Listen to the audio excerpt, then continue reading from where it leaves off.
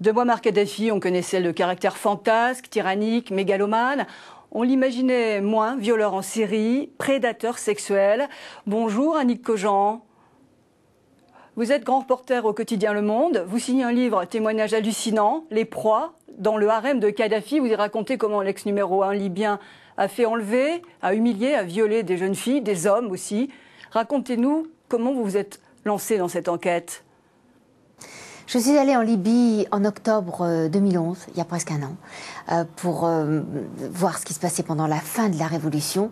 Kadhafi n'est pas encore retrouvé. En fait, on l'a retrouvé, capturé, et il est mort le lendemain de mon arrivée en Libye. Je voulais surtout rencontrer des femmes. Je voulais savoir ce qu'elles avaient fait pendant la révolution, la façon dont elles avaient souffert, et je voulais savoir comment elles s'étaient illustrées. Partout, on avait vu les Tunisiennes, on avait vu les Égyptiennes, toutes très combattantes, combatives, présentes dans les interviews, etc rien sur les Libyennes. Et mes confrères masculins, d'ailleurs, avaient été tous surpris de cela. Pendant qu'ils étaient au front, évidemment, ils rencontraient des hommes, et très souvent, ils avaient sympathisé, ils voulaient rencontrer les mères, les sœurs, les épouses des combattants. Jamais ils n'avaient accès aux femmes, et sur les photos, sur les reportages, on ne les voyait jamais. Alors j'ai voulu aller les voir, et je me suis rendu compte qu'elles avaient joué un rôle fondamental pendant cette révolution. Et en faisant des tas d'interviews, elles s'étaient battues, elles avaient caché des armes, caché les blessés, soigné des gens, levé des fonds, etc., pour aider cette révolution. Beaucoup d'entre elles me disaient on avait un compte personnel à régler avec Kadhafi. Et je comprenais pas très bien ce que ça voulait dire, ce compte personnel qu'avaient les femmes à régler avec le maître de la Libye. Et je me suis rendu compte peu à peu. D'abord, celles qui combattaient euh, risquaient le viol. Elles risquaient d'être enfermées, elles risquaient d'être tuées, mais surtout, elles avaient qu'une peur, c'était d'être violées. Et ça s'est fait de façon massive, car Kadhafi a utilisé le viol comme arme de guerre. Et puis, en faisant des entretiens peu à peu, et en rencontrant notamment une jeune fille, Soraya, me suis rendu compte qu'il avait d'abord utilisé le viol de façon très très générale lui-même dans sa consommation personnelle de jeunes femmes et de jeunes filles, mais qu'en plus il a utilisé le sexe et le viol comme arme de pouvoir. Et ça vraiment c'était très nouveau. Annick, racontez-nous alors comment euh, vous avez rencontré Soraya, une jeune fille enlevée à 14 ans, un témoignage capital qui ose dire des choses que, que tout le monde visiblement savait, mais taisait, était encore. Oui, on ne peut pas parler de ça. Le viol, le sexe sont des sujets tabous. Quand on dit tabou en Occident, souvent on a l'impression que c'est juste quelque chose d'un peu embarrassant. Là, c'est beaucoup plus que ça. On ne peut pas parler de ces choses-là. C'est un affront, c'est une offense terrible. Quand ça arrive dans une famille, c'est l'opprobre sur toute la famille, voire sur la tribu. Et en général, les frères se chargent de, d'éliminer, on peut dire, la sœur qui a été violée. C'est un tel drame, c'est le crime des crimes, évidemment, dans beaucoup de pays, mais notamment en Libye, qui est une société extrêmement conservatrice. Donc on ne peut pas parler de ça. Il se trouve que je rencontre cette jeune fille alors que j'enquêtais sur les viols pendant la Révolution. Je rencontre par hasard vraiment cette jeune fille qui me raconte, elle, avoir été violée par Kadhafi pendant cinq ans et être devenue, elle n'osait pas dire le mot, moi je le dis, c'est son esclave sexuel. Elle est prise à l'école. Le jour, euh, un jour, le, maître de la Libye, le guide, annonce sa venue dans une école. Le directeur de l'école réunit toutes les jeunes filles de l'école. Elle, elle vient tout juste d'avoir 15 ans. Et euh, on leur dit, il faut que vous soyez parfaite demain matin. Le guide nous fait l'honneur de venir. Donc évidemment, toutes les filles sont très excitées, effrayées. C'est le dictateur quand même mais enfin, il fascine. On l'a choisie parmi les plus jolies filles, semble-t-il, de l'école pour offrir le bouquet de fleurs. Elle est terrifiée, mais enfin très honorée malgré tout. Et il la regarde. Quand le guide arrive, elle lui offre le bouquet de fleurs. Il presse sa main de façon un peu étrange. Il la regarde de haut en bas, de façon très glaciale, derrière ses lunettes de soleil. Et il met sa main sur sa tête. Elle va apprendre bien trop tard, bien plus tard, que c'est un signe à l'égard de ses cartes du corps, à lui, pour dire celle-là, je la veux.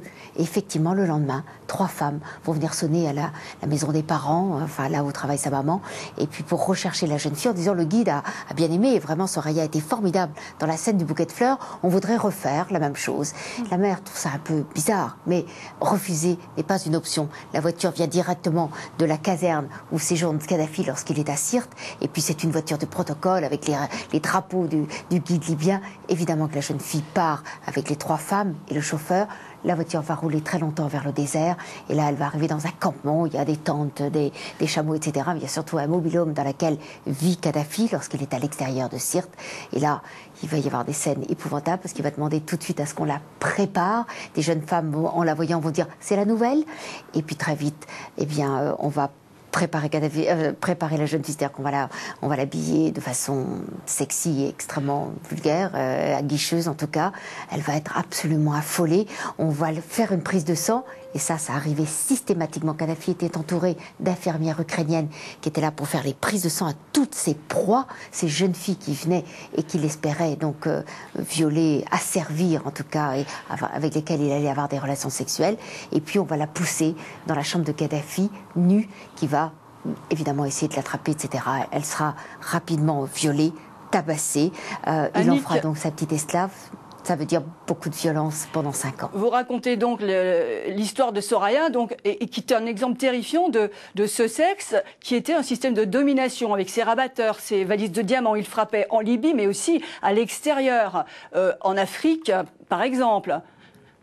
Oui, euh, il avait bien sûr son harem. J'ai appelé, euh, j'ai utilisé ce mot-là, même s'il paraissait un petit peu trop doux parce que c'est extrêmement, c'est une violence extrême. Il y avait en permanence, difficile à dire, une trentaine de filles à sa disposition, logées dans son sous-sol et qui à chaque fois devaient l'accompagner partout, y compris alors dans ce cas-là, on leur mettait un uniforme. C'est comme ça qu'on appelait les Amazones. On croyait qu'ils étaient des super soldats. La plupart d'entre elles étaient simplement ces esclaves sexuels du moment. Et puis, évidemment, il y avait des complices qui anticipaient ses désirs. Il y avait des rabatteuses, il y avait des réseaux absolument multiples, à la fois dans l'armée, à la fois dans les gardes, à la fois des, gens, des civils d'ailleurs. Et puis il y avait quelques femmes qui lui servaient de rabatteuses, de mère maquerelle, et qui détectaient un peu partout, avant ses voyages, pendant ses voyages, des jeunes filles qui pourraient lui plaire, et qu'on entraînait de fort, quelquefois simplement en les attirant avec beaucoup de cadeaux, vous l'avez dit, avec des valises de dollars, avec euh, des parures de diamants, d'or, etc.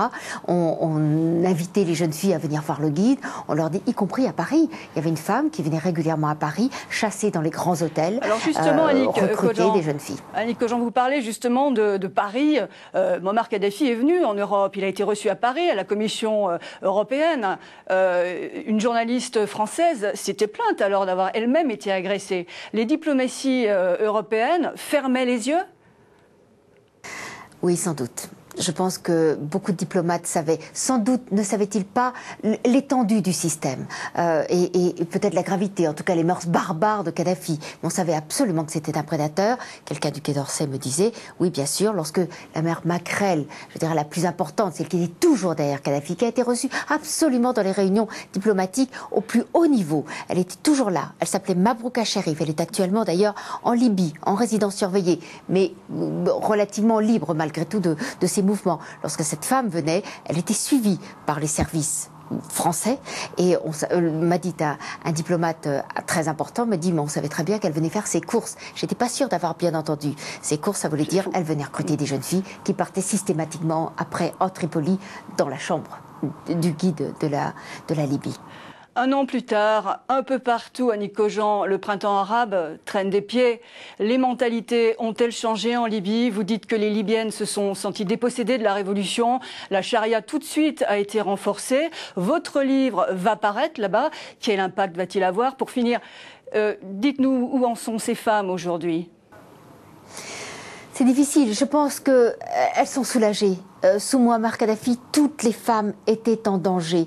Elles avaient du mal à le dire, certaines ne se rendaient pas tout à fait compte, mais beaucoup de pères savaient qu'il ne fallait pas que leur fille sorte, il ne fallait pas que leur fille, inconsciemment, elles avaient tout intégré l'idée qu'il fallait qu'elles se couvrent, elles se voilaient bien davantage, moins à cause de la religion que de la peur de faire d'être recruté ou d'être euh, détecté par la Kadhafi et sa bande et sa clique, parce que évidemment ces mœurs étaient contagieuses. Les, gouverneurs des États, les, les, généraux, euh, les, tous les gens qui avaient de l'importance et qui avaient de l'autorité pouvaient agir de cette façon-là, ou en tout cas essayer de recruter des filles. Donc de toute façon, elles étaient obligées, surtout de ne jamais apparaître euh, brillantes. celle qui était très bonne en classe devait se taire, ne jamais prendre la parole en public, etc. Ça, c'est terminé. C'est vraiment un poids qui a disparu. Mais c'est vrai qu'il y a d'autres dangers, que jamais on ne met les femmes en valeur, que euh, j'ai quelques espoirs dans cette société la plus conservatrice qui soit, où jamais on ne met les femmes en avant, où effectivement elles ont été déçues dès les premières heures de la libération du pays, proclamée par le, président de, du gouvernement provisoire. Eh bien malgré tout, j'ai quand même de l'espoir parce qu'elles s'expriment, elles sont très organisées, elles sont dans les réseaux sociaux, elles s'expriment sur Internet, elles, elles ont créé un nombre d'organisations extraordinairement important. Elles tiennent la société qui est complètement chaotique actuellement, mais malgré tout, celles qui tiennent les piliers les plus importants, elles ne font pas de bruit, mais ce sont les femmes. Et puis surtout, elles ont quand même été élues. Les élections se sont passées à peu près correctement, dira-t-on, et il y a eu une trentaine d'élus femmes. Et j'espère que celles-là, qui sont très éduquées, auront le courage de parler, d'aborder ce problème. Je ne sais pas ce que va faire mon livre en Libye. En tout cas, j'espère qu'il va susciter beaucoup de débats. Ça, j'en doute pas. Euh, il ne va pas libérer la parole des femmes qui n'ont pas intérêt à parler de viol, en tout cas. Mais en tout cas, la parole des politiques, du gouvernement. Il devrait y avoir des débats, de la justice, parce qu'il n'y a jamais eu de justice et que maintenant des tribunaux vont se mettre en route. Et peut-être aussi de la Cour pénale internationale. Dernière question, le mot de la fin. Comment va Soraya aujourd'hui? Pas très bien pas très bien, comme la plupart de ces femmes qui ont été prises à un âge très tendre et qui se sont formées, euh, leur, euh, leur, début de leur jeunesse en tout cas, sous les, dans les geôles de Kadhafi, c'est très compliqué. Euh, les rapports entre hommes et femmes, euh, les rapports sociaux, l'idée d'un travail, tout ça est très très compliqué pour elles. Elles sont effectivement extrêmement traumatisées, savent pas très bien se comporter et surtout, elles ont le sentiment d'avoir été des vraies victimes. Or, la société libyenne peut très bien les considérer comme des coupables. Elles faisaient partie de la, de, la clique de Kadhafi. Elles portaient un uniforme. Et pour beaucoup même de révolutionnaires, elles ont été sont fait partie de celles qui entouraient le guide, elles sont éminemment suspectes. C'est pour ça que j'ai notamment fait ce livre. Ce sont avant tout des victimes, et c'est très important de le dire, donc elles ont besoin d'être reconnues en tant que victimes. C'est vrai qu'elle va pas très bien, et que la plupart euh, se terrent un peu partout en Libye, dans la plus grande frayeur, euh, craignant d'être euh, d'être un jour reconnus, et que leur, leur passé ou leur lien avec Kadhafi soit rendu public, ce qui serait probablement un, un arrêt de mort, à la fois de révolutionnaires très ailés, mais aussi de kadhafistes qui demeurent très nombreux, qui ont très peur que ces femmes-là parlent parce qu'elles ont vu beaucoup de choses. Les kadhafistes demeurent encore puissants et les armes sont partout en Libye. Merci. Merci beaucoup Annick Cogent d'avoir euh, parlé avec nous de votre livre, dont je recommande vraiment, vraiment la lecture. Au revoir. Merci.